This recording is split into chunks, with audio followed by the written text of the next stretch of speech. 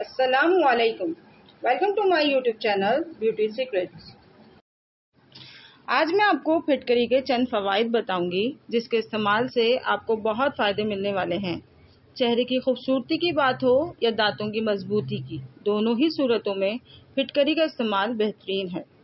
फिटकरी को पीसकर सिरका या अर्के गुलाब में मिलाकर अपने चेहरे पर लगाएँ।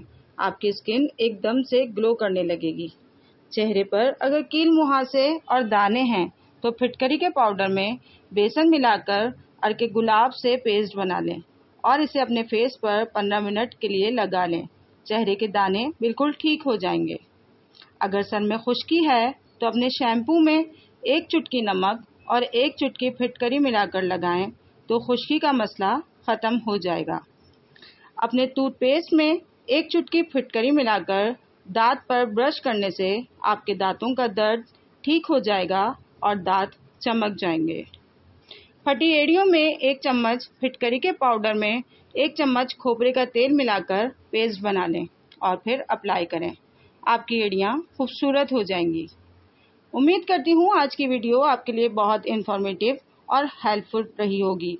अगर वीडियो अच्छी लगे तो लाइक और शेयर ज़रूर करें और मेरे चैनल को सब्सक्राइब करना ना भूलें। Thank you.